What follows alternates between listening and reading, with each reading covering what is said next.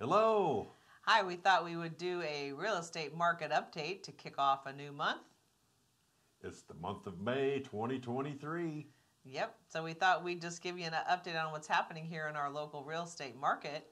And it is still a seller's market, to sum it up. it is. Uh, sellers are coming on the market and still receiving multiple offers as long as they're priced right and their home's ready to go. Yeah, the things that are in good shape are really going quick with multiple people looking at them. The open house traffic is still off the charts. People are having, you know, 40, 50, 60 plus people through their open houses.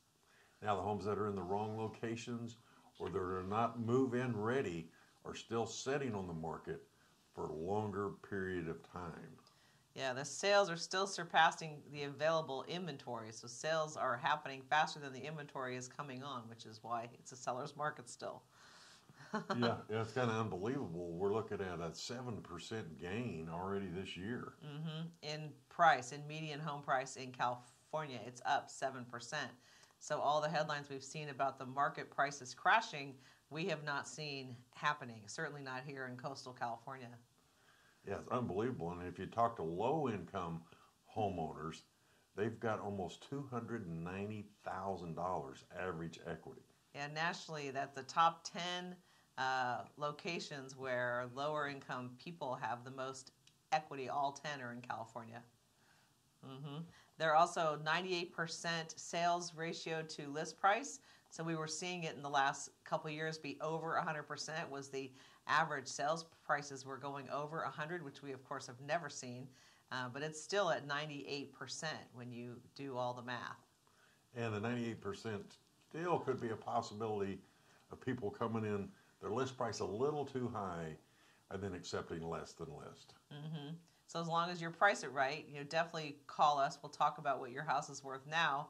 Uh, it may or may not be worth what someone got a year or two years ago with this ever changing market. Another conversation we've heard a lot about, besides the crashing home prices that isn't happening, is all these foreclosures that are, that are coming. Well, that's also not happening. And for a couple of reasons. Number one is people have equity in their homes. So there is equity, and the market has continued to go up. With all the government programs that were in place during the pandemic, the they have the forbearance, et cetera, pushed the people that were struggling further out. So they didn't make it through the court system and they're about two years behind. Well, in that last two years, the equity has gone up, prices have gone up. So we are not seeing any kind of foreclosure, uh, you know, spike that people keep talking about because it's just not happening. Yeah, equity has held that off. I mean, it's real tough to foreclose on a property that has equity in it. It can happen, but the prudent seller is going to list their house, take the equity with them, and move on. Mm-hmm.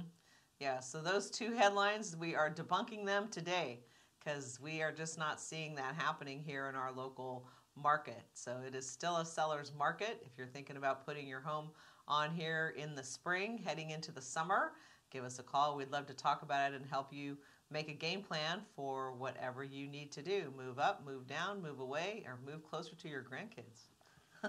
Gary and Lisa Market Update, GaryandLisa.com. Your real estate edge.